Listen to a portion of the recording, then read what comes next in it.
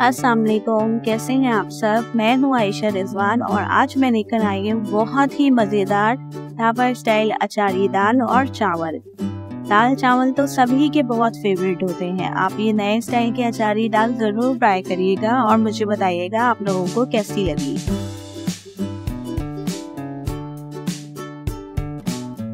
शुरू करते हैं। सबसे पहले हम एक पतीली ले लेंगे, उसमें हम कुकिंग ऑयल लेंगे थ्री टू फोर टेबल्स और इसमें हम प्याज डाल देंगे। प्याज मैंने एक ली है मीडियम साइज़ की और उसको चॉप कर लिया है। कुकिंग ऑयल स्टार्ट में हम थोड़ा सा कम लेंगे क्योंकि हम फिर बगार में लेंगे ज़्यादा। प्याज को हम अच्छे से थोड़ा सा गोल्डन ब्राउन होने देंगे और फिर इसमें डाल देंगे लहसन पेस्ट लहसन पेस्ट दिया है मैंने हाफ़ टी स्पून और टमाटर डाल देंगे चॉप दो मीडियम साइज़ के टमाटर लिए मैंने और उसको अच्छे से चॉप कर लिया है। ये डाल के हम इसको मिक्स कर लेंगे और इनको थोड़ा सॉफ्ट होने देंगे। टमाटर हमारे सॉफ्ट हो गए हैं। अब हम इसमें मसाले डाल रहे हैं। सबसे पहले हम हल्दी देंगे हाफ़ टी स्पून पिसी लाल मिर्च देंगे वन टी स्पून नमक लेंगे हाफ़ टी स्पून आप अपने टेस्ट के हिसाब से डालिएगा। मैंने हाफ़ टी स्पून लिया है। और इसको भून लेंगे। हरी मिर्ची डाल देंगे इसमें टू से थ्री चॉप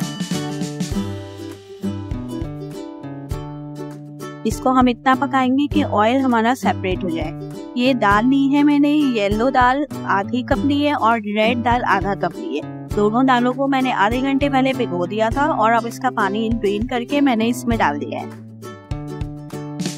दाल डालने के बाद हम इसमें पानी डाल देंगे। दो से तीन गिलास पानी हम डाल देंगे कि इसमें हमारी दाल अच्छे से गल जाए। दाल हमने भिगो दी थी तो वो थोड़ी सी फूल रही है, इसलिए अब जल्दी से हो जाएगी वो। इसको बॉईल ले आएँगे, अच्छे से पकाना है इसको।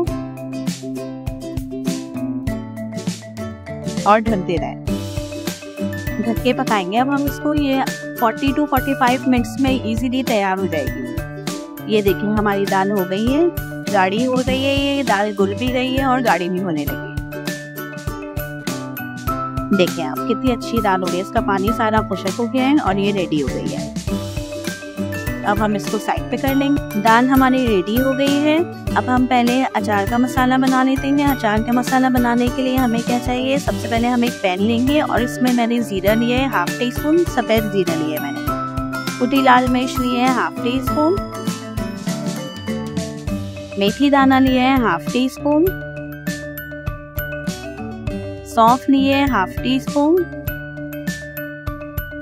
कलौजी लिए हाफ़ टी स्पून राई दाना लिया है हाफ़ टी स्पून सब मैंने हाफ़ हाफ़ टी स्पून लिया है, सिर्फ़ इतना कि हमारे मसाले दाल के लिए रेडी हो जाए ये मसाला। इसको हम अच्छे से भून लेंगे, इसकी खुशबू आने लगेगी, आपको फ़ौरन से और उसका कलर चेंज हो जाएगा, ये देखें ये ऐसा हो गया है। अब हम इसको अपनी पन कुट्टी में लेके इमाम दस्ते में अच्छे से कूट लेंगे।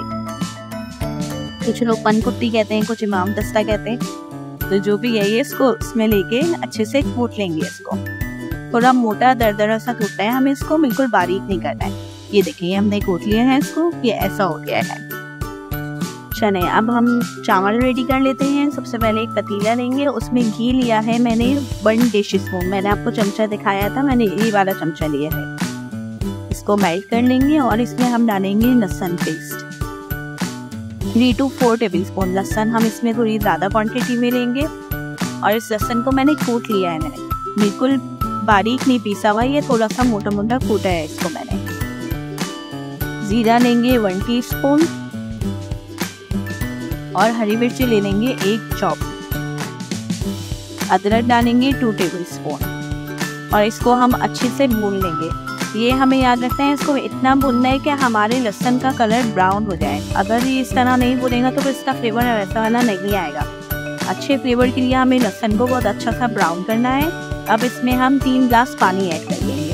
और नमक डाल देंगे। नमक मैंने वन टी स्पून लिया है आप चेक करिएगा चावल में कि नमक सही है या नहीं, अगर कम लगे तो आप थोड़ा सा डाल दीजिएगा।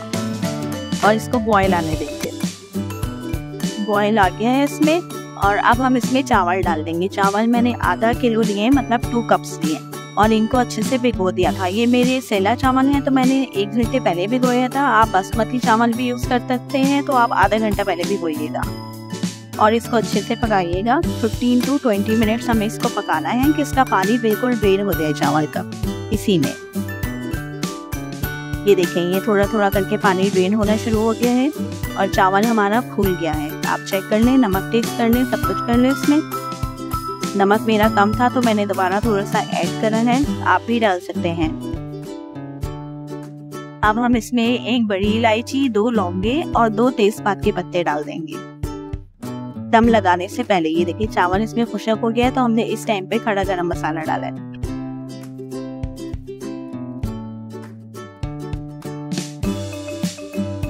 और अब हम इसको दम लगा देंगे। पानी खुशक हो गया था, हमने इसको दम लगा दिया। 15 टू 20 मिनट्स हम इसको पकाएँगे, फिर इसके बाद हम देखेंगे तो वो चावल हमारा अच्छे से स्टीम बन जाएगी।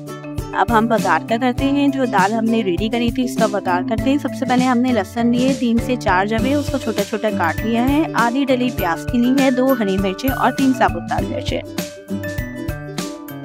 इसको हम एक पैन में डाल देंगे। ऑयल हम दे लिया था हाफ़ कप आप अपने हिसाब से ऑयल ले लीजिएगा जितना आपको बघार में चाहिए।